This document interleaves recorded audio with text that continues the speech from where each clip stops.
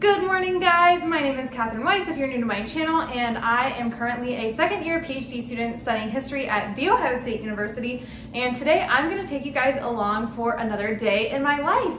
Now if you've been watching me for a while you may notice that I am finally back in my apartment. I have not been living in this apartment since the middle of May because I was house sitting this entire summer but now I'm back and I am attempting to try and get back settled in. My old roommate moved out um, actually last week while I was taking a trip to Texas to help my partner move down. But now I'm back and my new roommate moves in tomorrow, which is very exciting. One of my very best friends, Colleen, is moving here. I first met her about six years ago, right before I did my first Disney college program, where we were roommates back in 2015 and now she is moving here to live with me and honestly just like try and have a great time in Columbus, especially given the situation of the world right now. Who knows what the fall is gonna look like? I know OSU just instituted mask mandates again indoors for students. So hopefully um, we can still have classes inside the classroom with masks on by the time classes roll around in a few weeks. I think for my mental health, it would just be great if we could be back in the classroom, but we will have to see how all of that plays out. In the meantime, I am still finishing up my independent study. I just have one more session left with my advisor. And for this last chunk of readings, the section is entitled, um, let's actually look at what the section is titled. So the last section of my reading list that I'll be going over with my advisor is called Aftermaths, Demobilizations, and Commemorations. So yesterday I was working on reading this book, Japanese Society at War, which talks all about how Japanese society understood the Russo-Japanese War of 1904 to 1905 and how they commemorated it after the war. Honestly, it was a really interesting read, and the author draws heavily on things like soldiers' diaries and letters, really trying to get a ground up perspective, which is always the kind of history I like to both read and like to write. So I really enjoyed this book. Today, I have a like 230 page book to get through called Homecomings. It is all about returning POWs and the legacies of defeat in post war Germany. This book pops up in a lot of my other readings, so I'm excited to finally kind of get a look into what this book is all about because I think it's another one of those books that I'll keep seeing uh, in my studies.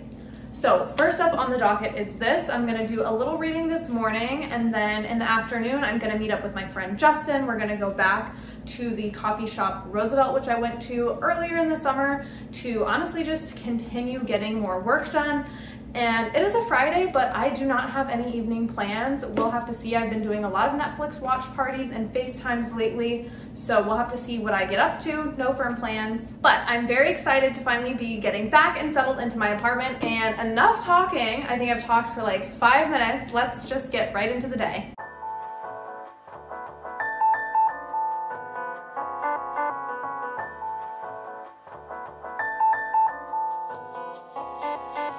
So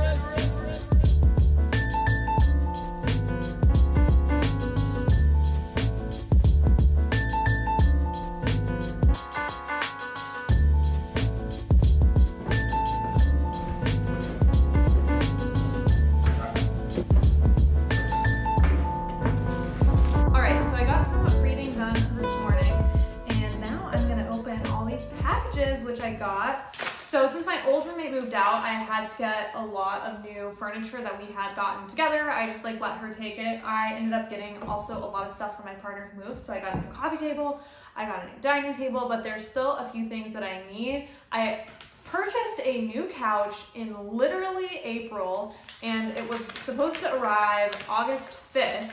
Um, and then I got a call like a week ago saying that it wasn't going to be delivered until the end of August. So who knows when I'll get a new couch. For now, I just have to make do with what I have. Um, but I also needed a new shower curtain. I don't have a shower curtain anymore, so I think one of those packages is here.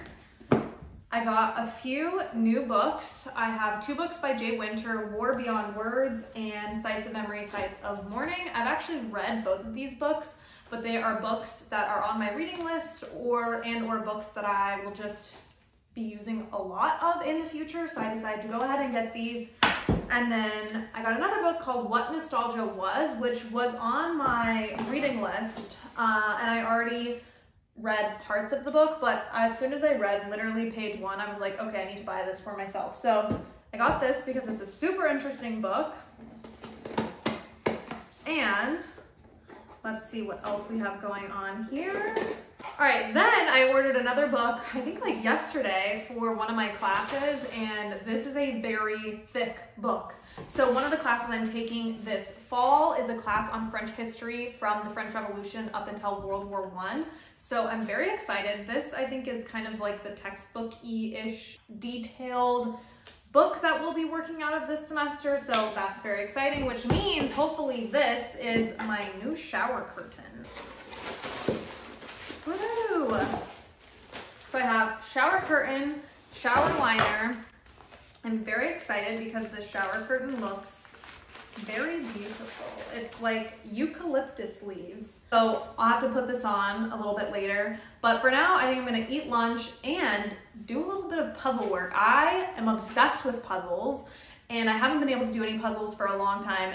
Also, a bunch of the puzzles I have with our previous tables that we had, no table was big enough for them, but now with one of my new tables, I can finally start doing my puzzles again. So I'm actually working on a puzzle I got last September when I took a trip to Michigan, and I will show you guys that puzzle later. I'm very excited. It is a 1,000 piece puzzle. It's huge. It takes up the whole kitchen table. It's so great and I love doing puzzles. They're so soothing. I can like put on a show in the background or listen to a podcast it's just something that is very calming to me and great for my mental health. So I'm gonna put these away, eat lunch, and then get back to my readings. All right, it was a few hours later. I went to the coffee shop to read with Justin for a few hours and ended up getting a lot of work done. I only have 20 pages left of the book, which I honestly could have done a few hours ago, but I just keep putting it off. Then I came back here, was watching TV for a little bit. I have been watching this TV show called Daredevil on Netflix. I would not recommend it if you don't like gore or violence because there is a lot of that, but it's kind of like superhero, law, crime, all of that kind of like mixed into one show. I think it's good, but also I always have to watch a comedy show afterwards or I will not be having a good night's sleep. But all that to say is I watched Daredevil and then I've been working on this puzzle ever since. When I get into puzzles, I just cannot stop. And this puzzle is evidence of that. I think I've got probably about half of it done and I started it, I think, yesterday. And I still did a full day's worth of reading as well. So what can I say? I am just obsessed with puzzles. but that is it for today. I am so glad that I'm finally back in my place, getting settled, Unfortunately, there are still a lot of things that need to get here. I need some new lamps for this room. There are a few other tiny little things I need to get. Unfortunately, the shower curtain is too small. Our shower is really weird. It's kind of like a college size. It's not a full shower. So I got like a shower stall sized curtain, but the one that I got is like a foot too small. I don't really know. I am kind of too lazy to return it to Amazon, so I might just try and use it and see what happens with that. But I might need to get a new shower curtain as well. And I still need two chairs for this table. All that said, things are slowly coming together. The semester starts in two weeks. I think the semester starts in two weeks. I have so much to do before then. I will continue to keep you guys updated on my beginning of school preparations. I will talk a little bit about the class that I'm going to be a grader for in the fall, which is very exciting, and keep you guys posted on what else is going on in my life. If you guys have any questions or comments, feel free to drop me a message in the comment section of this video, and I will see you guys next week. Bye!